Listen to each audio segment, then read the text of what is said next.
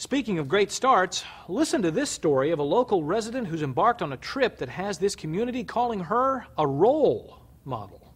The West Virginia resident is undertaking the longest unicycle tour in the state's history simply to show people what's possible when you set your mind to something. The journey will take the woman through many of the state's small towns and big cities where she hopes to inspire locals to live their dreams.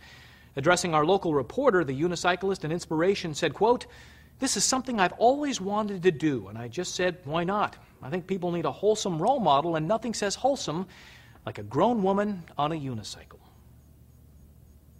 Wow. Takes some serious motivation and locomotion.